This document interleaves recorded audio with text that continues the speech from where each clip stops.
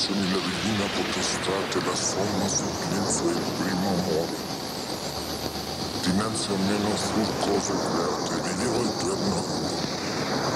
Lasciate ogni speranza voi che entrate. Lasciate ogni speranza voi che entrate. Lasciate ogni speranza voi che entrate.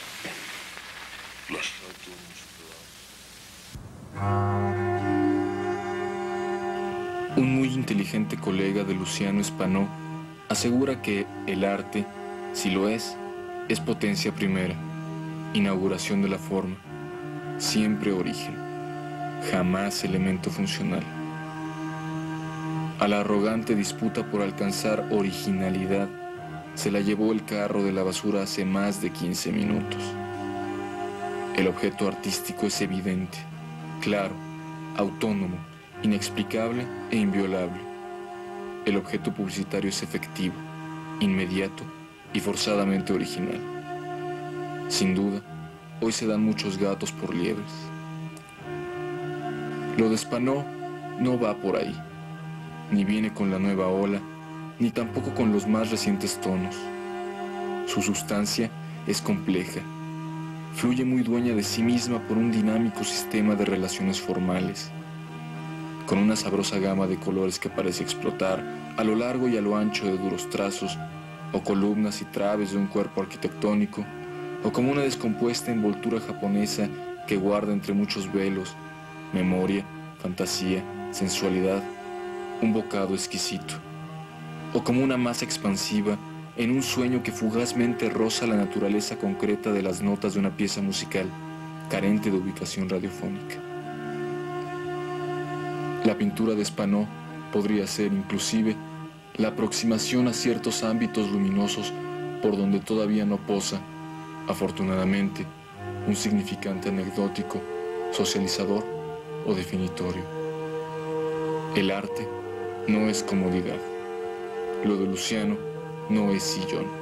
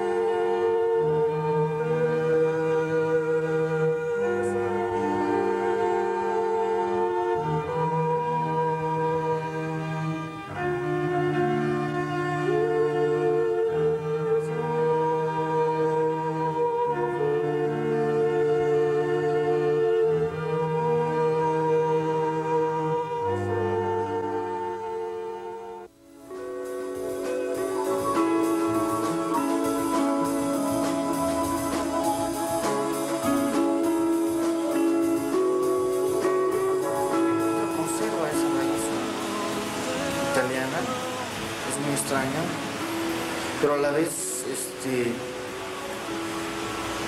me siento eh, muy en, en, en, muy en, el ámbito mexicano, en la pintura mexicana también.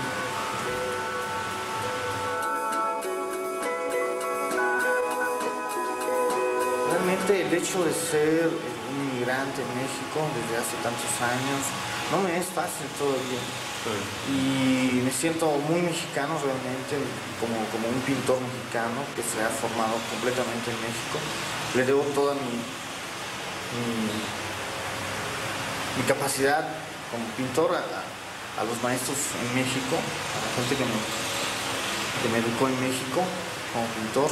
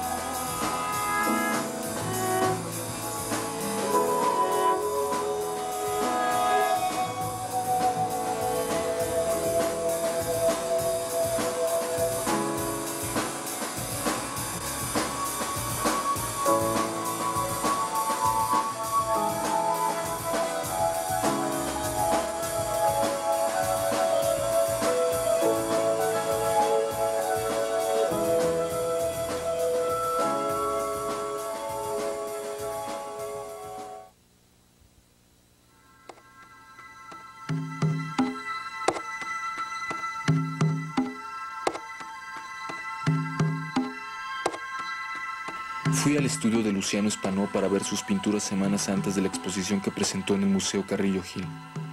Cuatro pequeñas habitaciones de una vivienda albergan el lugar de trabajo.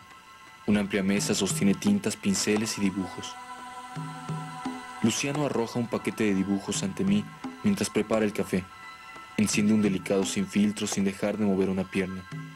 Luego del primer expreso, seguiría otro y tres cigarros más acompañados de frases cortas y movimientos acelerados. Dibujos y demás amenidades despiertan en mí un estado de impaciente curiosidad por saber qué nos aguarda en la otra habitación. Taza de café en mano, entramos al estudio de paredes impregnadas de óleo y pigmentos. Cada cuadro obliga a fijar una distancia, como si al acercar la vista a la superficie las imágenes se hicieran más lejanas, como si pinceladas y brochazos interpusieran una distancia. Acostumbrado a la figuración potente y desgarbada de los dibujos, los cuadros en que dominan las manchas parecen inacabables, en espera de que la línea fuerte delinee una presencia. El mejor oficio de Spanó está en la figura como producto último de la creación de un espacio plástico. En su ausencia, el espacio queda evidenciado como una potencialidad y es esa potencialidad un aspecto muy sugestivo para el análisis. Por un lado, crea el entorno bidimensional donde habitará la figura, pero también se le puede ver como un espacio temporal en el que convergen distintos tiempos pictóricos en secuencias manifiestas a través del color, la densidad de la materia, la transparencia y saturación de las manchas que constituyen la piel y las arrugas de cada pintura. Esta sería la primera manifestación del tiempo pictórico como una sucesión de accidentes que destilan una imagen imbricada en su entorno. Las deformaciones que sufren los contornos corporales y la sobreposición de veladuras y empastes tienen esa connotación de tiempo transcurrido y porvenir. Son la expresión contemporánea de un ideal de la pintura, el movimiento, entendido como representación de la dimensión temporal.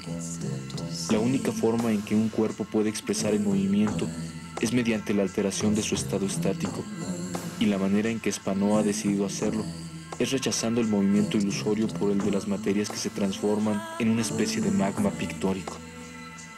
Es por ello que su obra no requiere de la anatomía ni de la precisión ilusoria de la perspectiva. Requiere de una capacidad para crear una dimensión independiente, donde los materiales coinciden para crear su tiempo sin imitar el movimiento de las tres dimensiones. Al concluir mi visita, con un agradable sabor de café y tabaco, me pregunto si la vida es tan solo una representación para Spanó y si su verdadera realidad está en la pintura.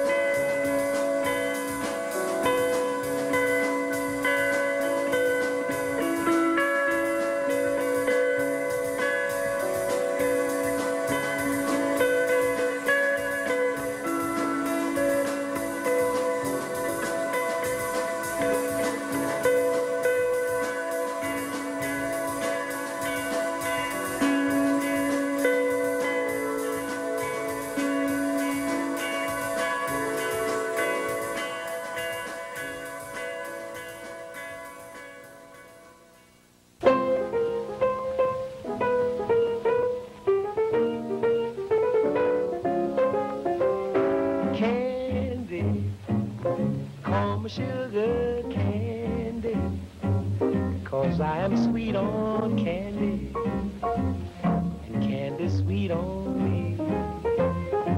She understands me, my understanding candy. Candy's always handy when I need sympathy.